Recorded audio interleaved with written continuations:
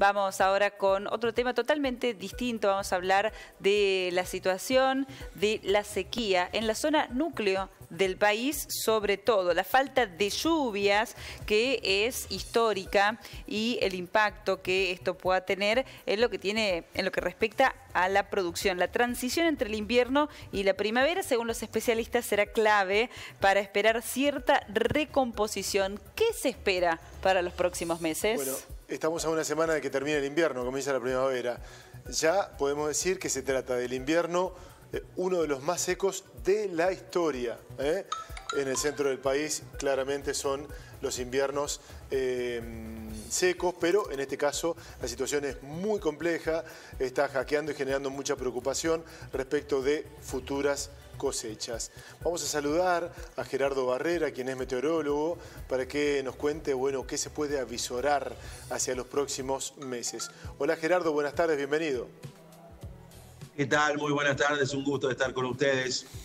Bien, Gerardo, ¿qué pregunta la, nuestra? ¿Podemos esperar lluvias? ¿Qué expectativas hay para la próxima temporada de primavera?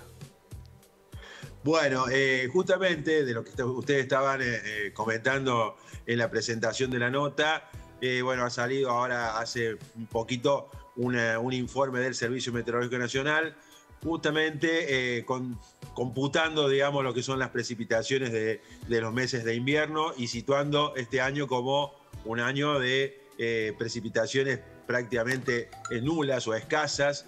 Eh, y esto tiene que ver con que, por un lado, venimos arrastrando una situación del efecto niña sobre el, Océano Pacífico y eh, eso, eh, digamos, influye mucho en la disponibilidad de humedad que hay en el aire. Entonces, eh, los eventos de precipitación que se han venido dando durante estos tiempos son muy localizados y hay muy poca gente, digamos, que ha recibido un poco de agua en relación a lo que es la extensa superficie de la región pampeana y sobre todo el área núcleo.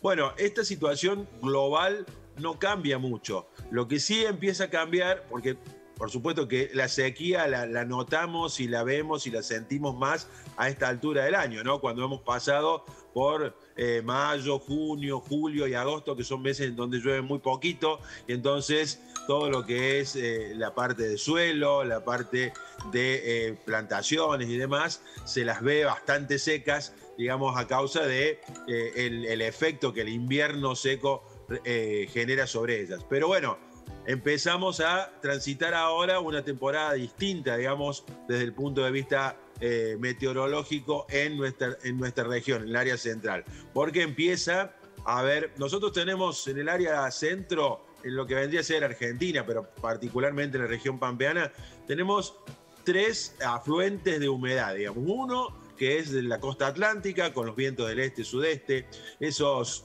eh, ese aporte no es un aporte para lluvias intensas, pero sí para lluvias y lloviznas que por ahí cortan alguna situación de, eh, de, una sucesión de muchos días de lluvia. Eso pasó, por ejemplo, en agosto, ¿no? En agosto tuvimos tres o cuatro eventos en donde hubo lluvias, lloviznas y dentro de todo hubo un poquito de alivio a esa, esa falta de precipitación que venía de los eh, meses anteriores. Bueno, por otro lado está el aire que viene desde la zona de Brasil. Ese aire empieza a traer ya un poco más de humedad a partir de octubre, noviembre. Por eso vemos que los promedios de precipitación empiezan a subir en la estadística. Y bueno, y en la expectativa está en que eso puede ayudar un poco a que empiecen a aparecer las primeras instancias de lluvia. La otra parte, digamos, el otro afluente de, humedad es el que viene desde el Pacífico, desde la costa del Pacífico, que en este momento está fallándonos un poco porque trae muy poca humedad, estamos con esta situación de niña como les decía, entonces digamos que la humedad no está repartida uniformemente y cada evento que ocurre cada cinco, cada siete días de inestabilidad, deja solamente algunos sectores de lluvia. Eh, por ahora, de aquí hasta fin de año, no se ve que la situación se vaya a revertir de blanco a negro. ¿sí? Así que eh, la expectativa está en eh, estas situaciones un poco más localizadas y no tanto generalizadas, ¿no? porque la situación de, digamos, de, del Océano Pacífico no va a cambiar mucho de acá hasta fin de año y por lo tanto las lluvias van a tener esa característica. Bien, bueno, no muy buenos pronósticos. Gerardo, le quiero consultar por las temperaturas. Estuvimos observando todos estos meses lo que sucedió en Europa, ¿no? Con estas olas de calor, temperaturas récords. ¿Cuál es el anticipo para este sector del planeta? Bueno, nosotros justamente lo, eh, que hace en, en la época estival o preestival, tenemos mucha radiación solar. Nosotros estamos en una latitud donde a esta altura ya del año se empieza a notar, uno se para el sol en la siesta y siente que pica, ¿no? Porque eh, tiene una, una buena muy buena efectividad en el calentamiento. ¿Qué es lo que hace que eh, las situaciones se tornen un poco complejas como las que ha ocurrido en Europa eh, durante este año? Bueno, la falta de humedad justamente, que no genera nubes, que no genera precipitaciones y que no genera esas alternativas de de cambio o de compensación que se pueden llegar a producir.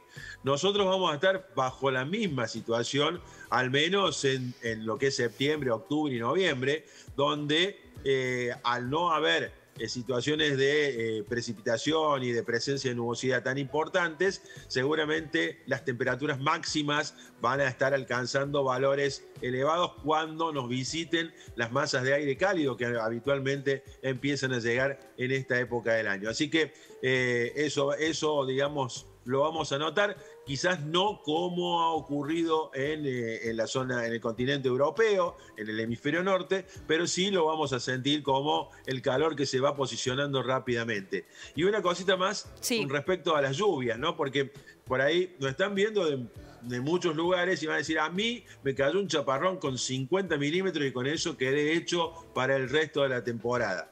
Bueno, eso es justamente eh, lo que pasa ahora, ¿no?